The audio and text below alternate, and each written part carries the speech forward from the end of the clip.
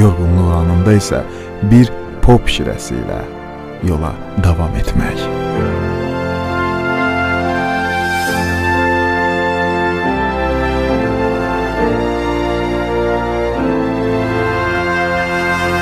Pop uğurun tamı.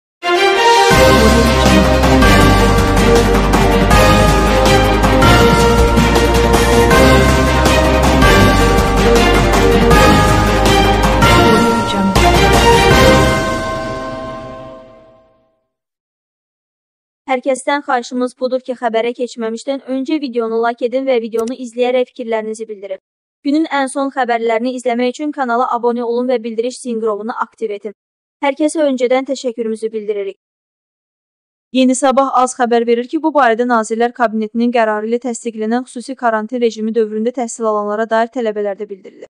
Qaydalarda qeyd edilib ki, xüsusi karantin rejimi dövründə təhsil müəssisələrində təhsil alanları məktəbəqədər və ümumi təhsil müəssisələrində uşaq musiqi, incəsənət və rəssamlıq məktəblərində maskadan istifadəsi onların valideynlərinin və ya digər qanuni nümayəndələrinin seçiminə verilir.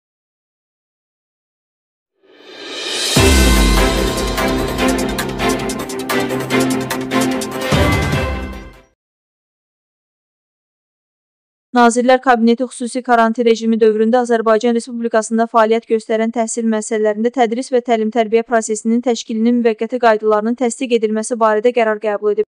Yeni Sabah az xəbər verir ki, Baş nazir Əli Əsədov bununla bağlı qərar imzalayıb.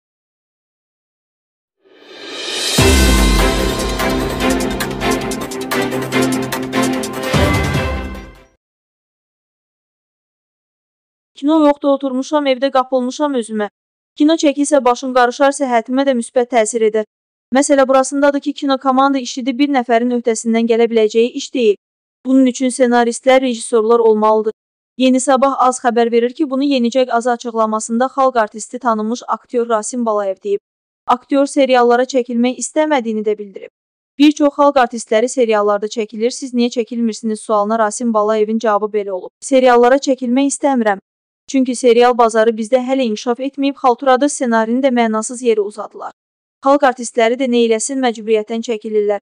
Oturublar evdə pul yox, maaş yox, yaradıcılıq yox, bağırları çatlayır, ona görə də seriala çəkilməyə razılıq verirlər.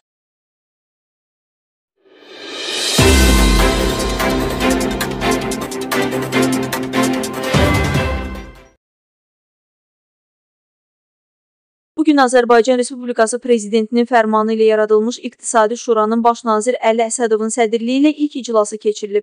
Nazirlər Kabinetindən Yeni Sabah aza verilən məlumata görə iclasda Şuranın üzvləri Azərbaycan Respublikası Prezidentinin köməkçiləri Şahmar Mövsümov və Natiq Əmirov, Azərbaycan Respublikasının birinci vitse-prezidentinin köməkçiləri Emin Hüseynov və Xalid Əhədov, İqtisadiyyat naziri Mikayıl Cabbarov, Maliyyə naziri Samir Şərifov, Əmək və Əhalinin Sosial Müdafiəsi naziri Sahil Babayev, Mərkəzi Bankın sədri Elman Rüstəmov, Dövlət Neft Fondunun icraçı direktoru İsrafil Məmmədov iştirak ediblər. Baş nazir Əli Əsədov Prezident İlham Əliyevi İqtisadi Şura üzvləri adından göstərdiyi yüksək etimada görə minnətdarlığını bildirib.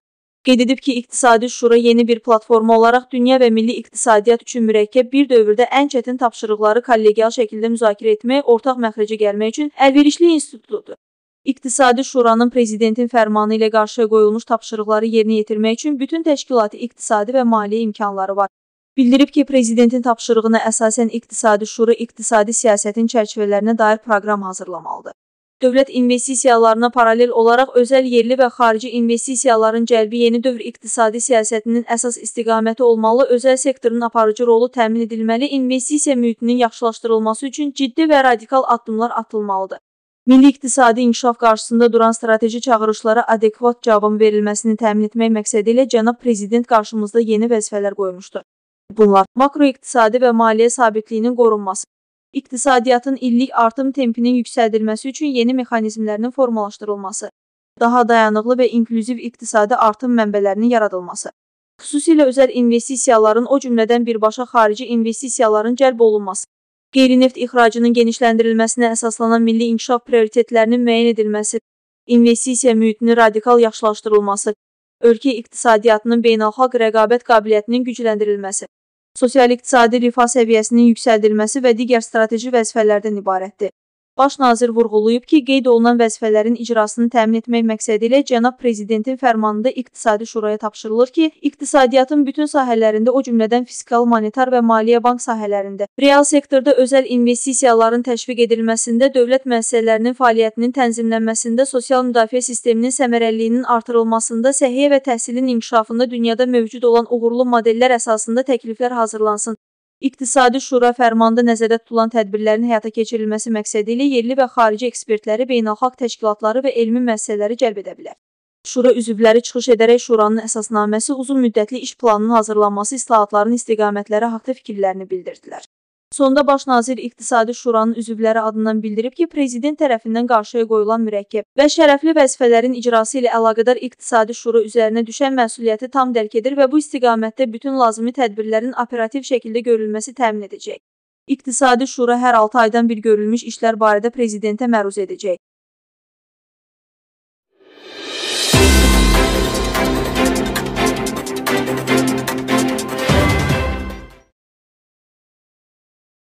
Baş nazir təhsil müəssisələrində təhsil verənlərə dair tələbləri təsdiqləyib.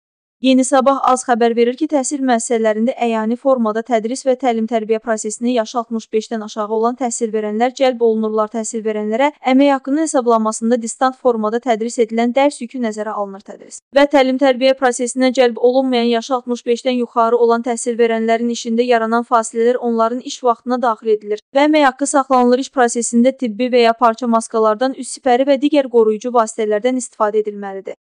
İstifadə edilən fərdi qoruyucu vasitələr mütəmadi olaraq habelə çirkləndikdə və ya nəmləndikdə dəyişdirilməli və bu zaman əllərin gigiyenasına dair tələblərə riayət edilməlidir. Müəllim otağında, kafedrada və digər heyətin iş və istirahət otaqlarında sosial məsafə gözlənilməlidir. Təhsil verən özündə və ya birgə yaşadığı şəxslərdə COVID-19 əlamətlərini hiss edərsə, bu barədə dərhal təhsil müəssisəsinin rəhbərliyinə məlumat verməlidir. İş vaxtı ərzində təhsil verəndə bədən hərarətinin 37.1 dərəcə və ya daha yüksək olduğu müəyyən edildikdə və ya hər hansı xəstəlik əlamətləri əlamətləri müşahidə olunduqda, bu qaydaların 5-ci hissəsinin tələblərinə uyğun tədbirlər görülür. COVID-19 testinin nəticəsi pozitiv çıxan və ya test nəticəsi pozitiv çıxmış şəxslə təmasda olduğu üçün təcrid olunma rejimində olan və ya test nəticəsi pozitiv çıxmış və sağalmış, lakin sonuncu test nəticəsinin neqativ olmasından hələ 14 gün keçməyə, habelə özündə və ya birlikdə yaşadığı şəxslərdə şübhəli əlamətlərin olması səbəbindən götürülmüş test nümunələrinin cavabları aşkarlanana dək. Həmin şəxslərin işə başlamasına icazə verilmir. Bu qaydalarla təhsil verənlərə münasibətdə müəyyən edilmiş tələblər təhsil müəssisəsinin tədris etməyən inzibati heyətinə də aiddir.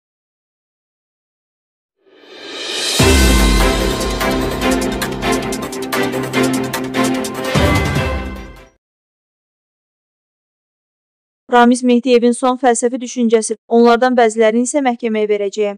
Yazdıqları yalanları olmayan hadisələri uydurub söylədiklərinə görə yox, onların nankor olduqlarını cəmiyyətə sübut etmək üçün.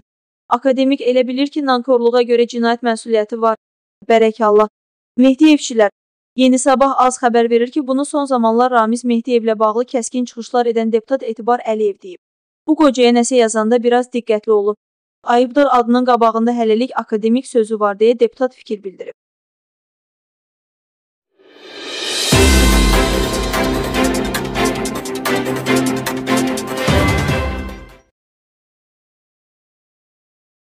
Mərkəzi Seçki Komissiyası ilə bağlı qəribə situasiya yaranıb. Seçki məcəlləsinə əsasən komissiya üzvləri 5 il müddətinə seçilir. Mərkəzi Seçki Komissiyasının hazırki tərkibi 2016-cı ilin aprel ayında formalaşdırılıb. Deməli, 5 il müddətin başa çatmasına az 7 ay qalıb. Qanunda həm də qeyd edilib ki, parlament seçkilərindən sonra Milli Məclisin ilk iclaslarının birində Mərkəzi Seçki Komissiyasının tərkibi formalaşdırılmalıdır. Azərbaycanda son parlament seçkiləri 9 fevral 2020-ci il tarixdə keçirilib. Bu növbədənkənar seçkilər olub. Milli Məclisin tərkibi əhəmiyyətli dərəcədə dəyişib. Yeni bir tərəf deputatlar və siyasi partiyalar parlamentdə yer qazanıb. Belə olan halda Mərkəzi Seçki Komissiyasının işini mövcud tərkiblə davam etdirməsi doğrudurmu? Ümumiyyətlə, hazırki situasiyada hansı addım atılmalıdır? Yeni Sabah az məsələyə aydınlıq gətirmək üçün Aydınlar Partiyasının sədri 1-ci və 2-ci çağırış Milli Məclisin deputatı Qulam Hüseyn Əlibəyliyə müraciət edib. Mərkəzi Seçki Komissiyası ilə bağlı mürəkkəb situasiyanın yarandığını bildirən keçmiş deputat bunu qanunun qeyri-dəqiqliyi ilə izah edib. Həqiqətən də mürəkkəb situasiya yaranıb. Bu da qanundakı qeyri-dəqiqliklə bağlıdır. Qanunda birbaşa yazılıb ki, yeni parlament seçkilərindən sonra Milli Məclisin ilk iclaslarının birində Mərkəzi Seçki Komissiyasının tərkibi formalaşdırılmalıdır. Burada söhbət növbəti yaxud növbədənkənar parlament seçkilərindən getmir. Yəni qanunda bu məsələ dəqiqliyi ilə qeyd edilməyib. 9 fevralda keçirilən parlament seçkiləri növbədənkənar idi. Amma axı tərkibdə ciddi dəyişiklik olub. İstər bir tərəf deputatların kontingentində, istərsə də siyasi partiyaların düzülüşündə ciddi fərqlər var. Bu da Mərkəzi Seçki Komissiyasının yenidən formalaşdırılmasını zərurətə çevirir. Digər tərəfdənsə mövcud tərkibin müddəti hələ başa çatmayıb deyə Qulam Hüseyn Əlibəyli vurğulayıb. Partiya sədri hesab edir ki, Mərkəzi Seçki Komissiyasının müddəti başa çatmasa da yeni tərkib formalaşdırılmalıdır. Hesab edirəm ki, bu tərkiblə davam etmək doğru deyil. 5 il müddəti gözləməyə ehtiyac yoxdur, Mərkəzi Seçki Komissiyası yenidən formalaşdırılmalıdır deyə o bildirib. 9 fevral 2020-ci ildə keçirilən növbədənkənar parlament seçkiləri nəticəsində formalaşan Milli Məclisin artıq yaz sessiyası başa çatıb. Deputatlar payız sessiyasına hazırlaşır. Lakin yaz sessiyasında keçirilən iclaslarda Mərkəzi Seçki Komissiyası ilə bağlı məsələyə toxunulmayıb. Qeyri-rəsmi məlumatlara görə seçki komissiyalarının yenidən təşkili parlamentin payız sessiyasında baş tuta bilər. Lakin buna zidd xəbərlər də var. Həmin xəbərlərdə Mərkəzi Seçki Komissiyasının təkrar seçkilərdən sonra formalaşacağı iddia edilir. Konstitusiya Məhkəməsi 80 saylı İmişli Beyləqan, 74 saylı Lənkəran kənd, 35 saylı Xətay 3-cü və 33 saylı Xətay 1-ci seçki dairələrinin nəticələrini ləğv edib. 116 saylı Qəbələ seçki dairəsindən deputat seçilən Fəttah Heydərov isə dünyasını dəyişib. Beləliklə 5 dairədə təkrar seçkilər keçirilməlidir. Qanunvericilikdə təkrar seçkilərin keçirilmə vaxtı ilə bağlı konkret müddət yoxdur. Növbədənkənar parlament seçkilərindən sonra məlumat yayılmışdı ki, təkrar seçkilər may ayında keçiriləcək gözləntilər özünü doğrultmadı. Lakin burada siyasi motiv axtarmaq doğru olmazdı. Çünki mart ayından ölkədə koronavirus infeksiyasına qarşı mübarizə başlayıb, xüsusi karantin rejimi elan edilib. Mümkündür ki, təkrar seçkilər pandemiyadan sonra baş tutsun. Pandemiyanın isə nə vaxt bitəcəyi bəlli deyil. Bəzi mülahazələrə görə isə parlamentin yenilənməsinə baxmayaraq Mərkəzi Seçki Komissiyasının təşkilini yubanması Məzahir Pənahovun karyerasının ömrünü bir qədər də uzatmağa xidmət edir. O 2000-ci ildən Mərkəzi Seçki Komissiyasının sədridir.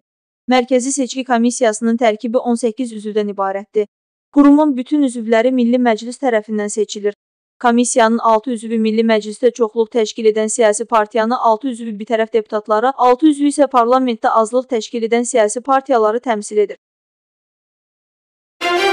Thank you.